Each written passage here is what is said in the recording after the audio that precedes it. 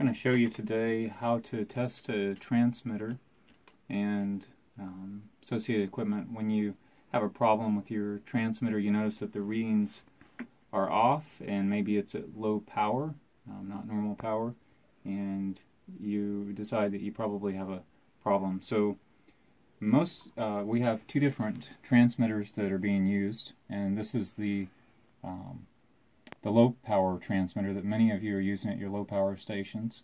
It's a 15 watt transmitter. There's also um, a higher power transmitter, 300 watts, that's being used at some stations, and I don't have that transmitter today. We'll have to make another video for that. But this, the procedures can be used for the 300 watt transmitter that we're going to use today.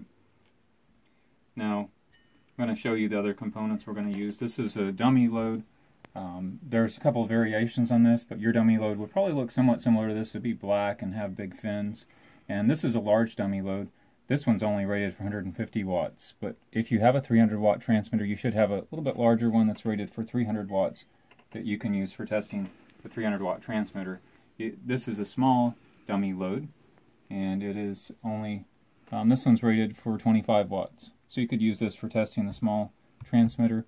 You do not want to use this for testing a large transmitter um, unless you were only at 15 watts with a large, or 25 watts or less with a large 300 watt transmitter. Um, so you want to use a dummy load that will be able to handle the power rating that you're working with. Now the dummy load simulates um, an antenna, so you can hook this up to your transmitter uh, just for testing purposes to see if the transmitters function properly, and um, that's what the dummy load is for. It's for testing the transmitter without the antenna to see if the transmitter is working properly.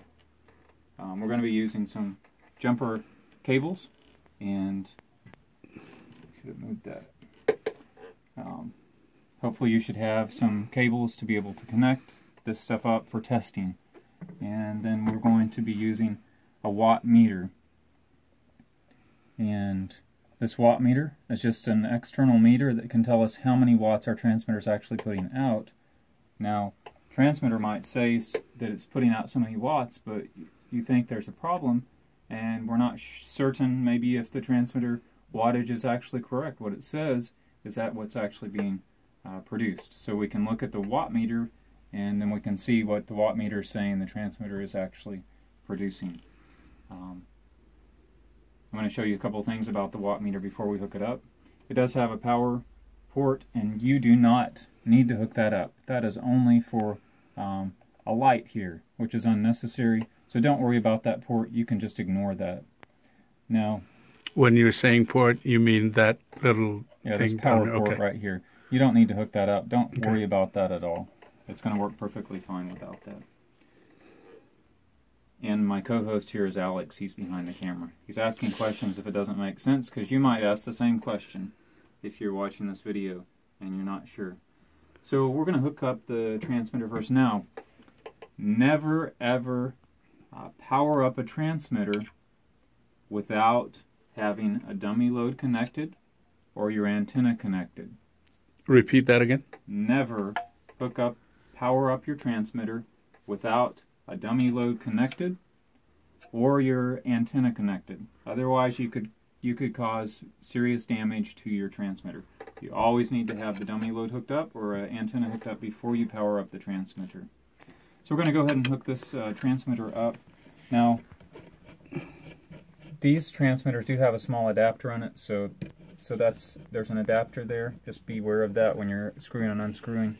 And um, so we're going to hook up this cabling, and we're going to go ahead and hook up our kilowatt meter. Now, you'll see these are labeled, and one says antenna, ANT for antenna. Mm-hmm. One says TX for transmitter. See that? So TX is for transmitter. We're going to hook that up to transmitter side.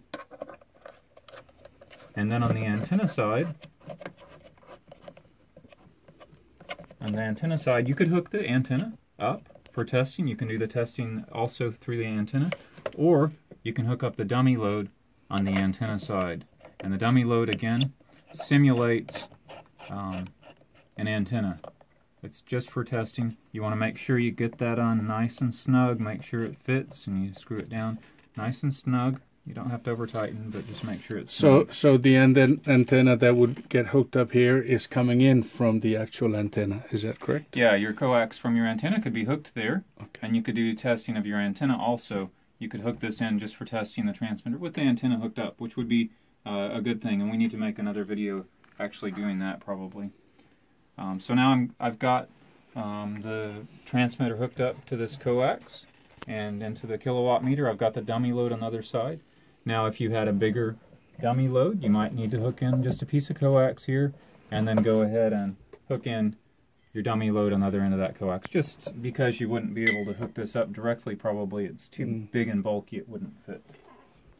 Okay, we're going to power up our transmitter. Now, this transmitter is having some problems.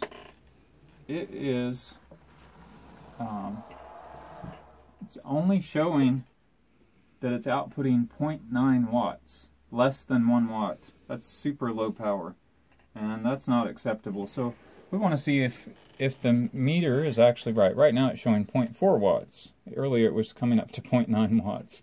So there's there's a problem, most likely with this transmitter, and so um, we can check the watting watt setting um, on this transmitter um, by hitting watt. We can go over and we can see what it's set for, and right now it's set for 13.1 watts. It'll go up to 15.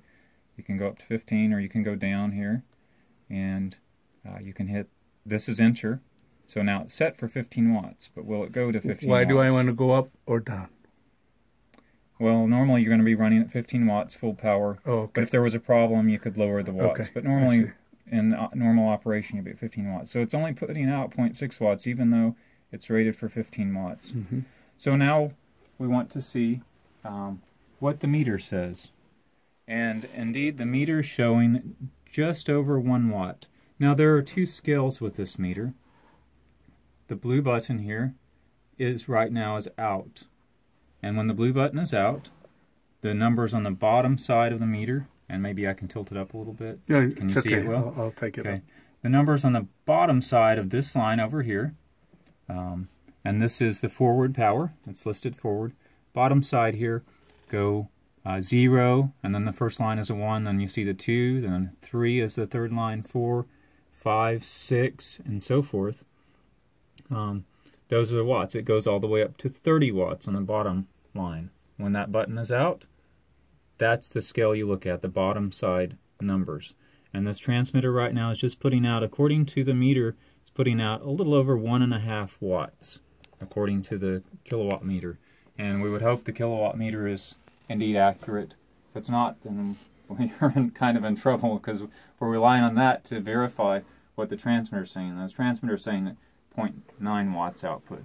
So it's pretty close. It's close enough. You're not going to get an exact 0.9 here, and you can't even read 0.9 over here. It gives you an idea of what the transmitter is actually putting out. Now, when you depress this blue button here on the kilowatt meter, then um, the scale then, when it's depressed, is on the top side. And it's and you can see the needle's gone all the way down to nothing. It's gone down to 0 Mhm. Let's cross the top. We see the first reading is 20 watts, 40, 60, 100, 200, 300. This is the scale you'll be using to test for the high power 300 watt transmitter.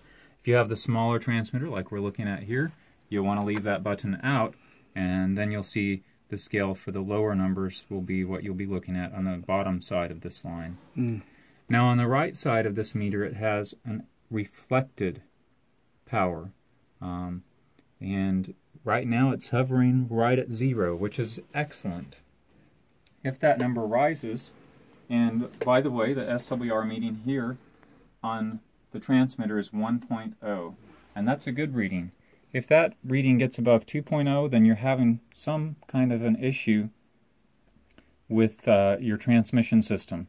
Now, with the dummy load, it should always be really low, unless there's a problem with our coax um, here with one of the connections. It should always be 1.0 when it's hooked up with this system. But with your transmitter hooked to your antenna, if that number is high, then um, there's some problem. Probably it could be water in a connector. Um, that's often the case, and that can uh, cause some of the power that's going out on the transmission system to be reflected back um, to the transmitter, which can cause damage to the transmitter over time. Now, the transmitter is uh, intelligent enough that it can measure that reflected power coming back, and if it gets too high, it will reduce the watts, the power, on its own. And that's why you can sometimes see that the transmitter, the reading is reduced because the SWR number has become too high, the reflected power. On the larger transmitter, it actually says REV, that's the reflected power. It's a different number, but that number should, for the SWR, here should be no higher than 2.0. For the larger transmitter, um, the watt reading should be no higher than 10% of the total power. So if you're transmitting at 300 watts, which is what um, you should be transmitting at, then 10% would be 30 watts reflected. If it's higher than 30 watts, you've got a significant problem. You need to reduce the power and you need to uh, do some testing and then call us in Guam if you can't figure out what's going on. And so that's testing with the kilowatt meter. Um, and um, one more uh, thing um, regarding the dummy load. You do not want to run the dummy load um, with the transmitter at full power for more than maybe five minutes. Um, the dummy load is only for, for short-term um, testing. It can become very hot. You could burn it out if you run the dummy load with the transmitter with the dummy load attached for very long. So don't do that. You could reduce the power and run the dummy load a little longer, but you shouldn't need to. You're just doing a short-term testing just to see if the readings are correct. So right now this transmitter is showing 1.2 watts output. SWR is 1.0, which is a good reading. And here on the meter, we're showing uh, it's almost up to 2 watts. Um, so, and it's okay that the readings are slightly different. You're probably not going to get exact, but you should expect them to be close. It's maybe at 1.8 there watts. Um, if I was running this transmitter at a full 15 watts, which it seems to be uh, damaged, um, then uh, we would want, want, again, not to run it for very long because this dummy load here would get quite hot quite quick and we could burn it out. So, um, as I told you in the beginning, this transmitter has a problem, and the problem is within the transmitter because the setting, it's set for 15 watts output, but it's only putting out 1.2 watts. The SWR number is fine, it's 1.0, which is an excellent reading, it's the very best reading we can get, and so there's a problem with the transmitter. That's what we've determined. If um, the if the SWR reading were high, then we would have some problem with our coax um, or antenna. Some problem there in the transmission system that we would have to identify, we would have to go out and look. And we'll have to make some more videos on identifying those problems when you find that your SWR or your reflected power reading is too high. So I think that's about it. Alex, any other question? No. Um, the only other question um, that came to mind was uh, when you detect there is uh, water in the um, in the connections. Do you go ahead and fix that, or is that something you'd uh, call it in also? I think we're going to have to make another video, a how-to video where we go and actually look at some connections to the okay. antenna and. Um, so that that'll be part of the, your next uh, yeah. I production. think we'll make another video on that. Okay. All right. Thank you.